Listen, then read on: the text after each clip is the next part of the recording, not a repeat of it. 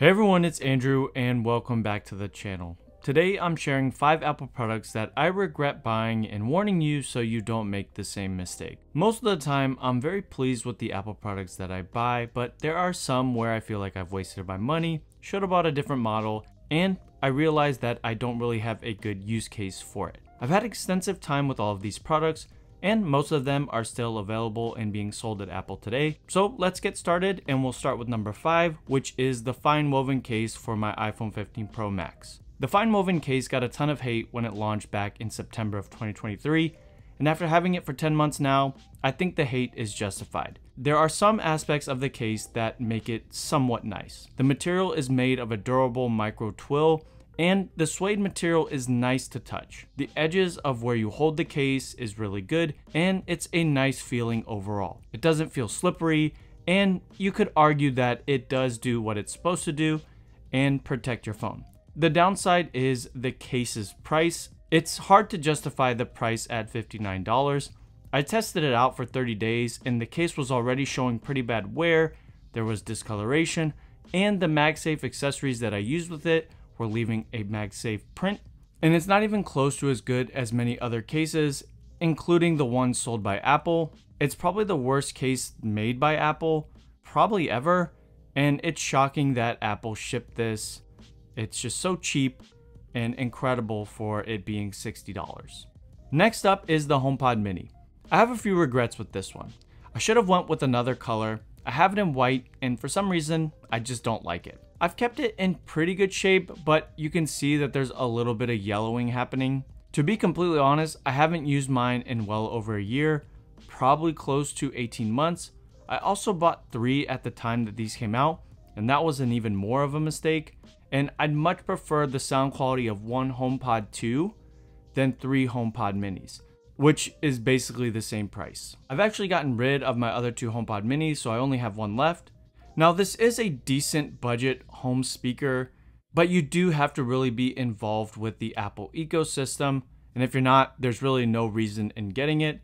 But even if you're heavily into the Apple ecosystem like me, Siri just isn't good on it. And I don't know if it was an update back with iOS 16. I don't know what happened to it, but it just doesn't work. I don't know why, but it's just a terrible product to use. And the studio display that I have, the speakers on that are pretty good. So there's really no reason to even have a HomePod mini on my desk. It just takes up extra space. I'll just be honest with you. The AirPods Max were definitely just an impulse buy.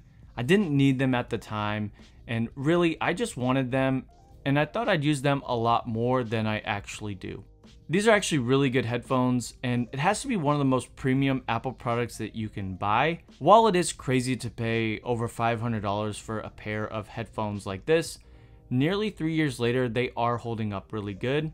One of the regrets I do have, kind of similar to the HomePod mini, is I wish I would have went a little bit different with the color.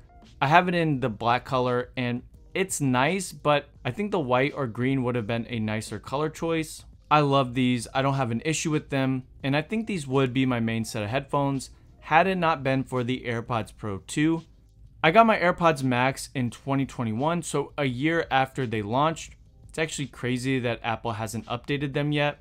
And if they do update them, I'll be pretty annoyed if all they do is change it to USB-C and call it AirPods Max 2. But a year later, Apple dropped the AirPods Pro 2, and seriously, to me, they sound the same.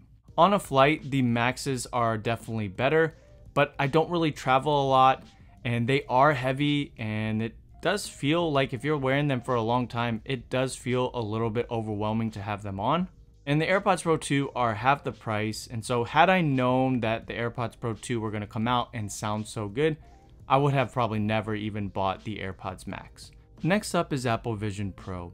There's truly no device like it, and I find myself in a strange predicament. I really love using it, and there's not really anything to hate about it, to be honest. From the design to Vision OS, environments are out of this world, and the cinematic experience is the closest thing you can get to today to having a full movie theater in your home.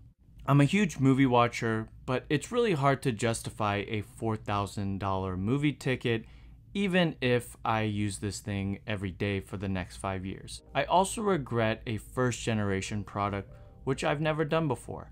I didn't own the first iPhone, iPad, or Apple Watch. I've always waited because I know exactly how Apple is. The next version or two is always going to be much, much better.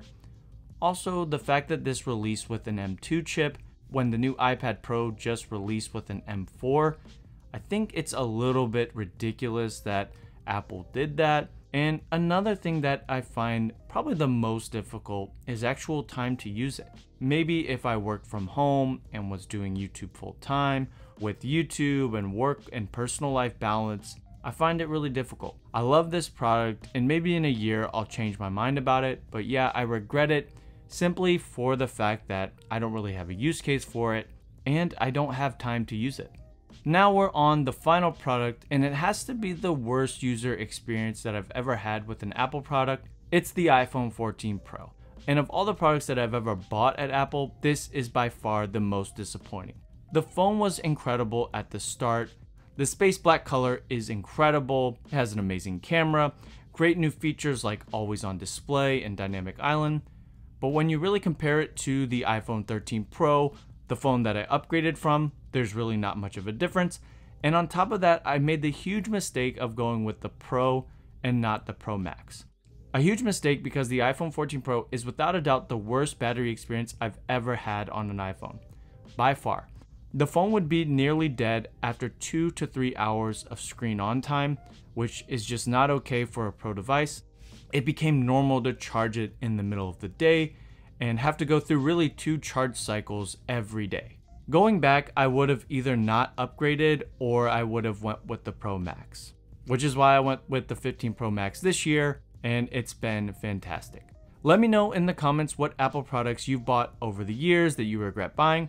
And if you enjoyed this kind of video, make sure to give it a like and subscribe to the channel. As always guys, thanks for watching, God bless, and I'll see you on the next one.